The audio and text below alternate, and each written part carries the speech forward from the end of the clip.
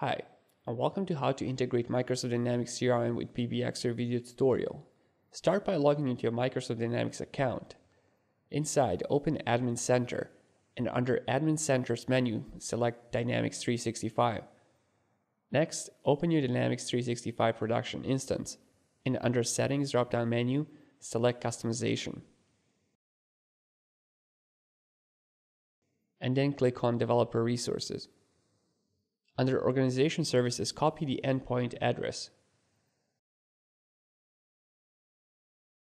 Once you have copied the endpoint address, log into your PBXware and under Settings, CRM Integration section, set Service Location to Local and CRM Type to Microsoft CRM. Under Organization Services URL, paste the endpoint address that you have copied from Dynamics 365. Under Page URL, enter your Microsoft Dynamics organization URL.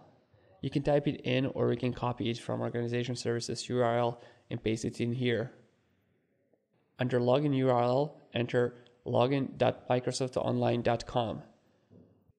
Select all log options to yes and click Save to apply the settings. To make sure everything is set correctly, you can run a test. In CRM test window, Enter your Microsoft Dynamics email as a username and as a password, enter your Microsoft Dynamics password. Click on the Run button and if you have entered everything correctly, you will see a success message. Thank you for watching this video and if you need more help, be sure to visit Bicom System Wikimedia page.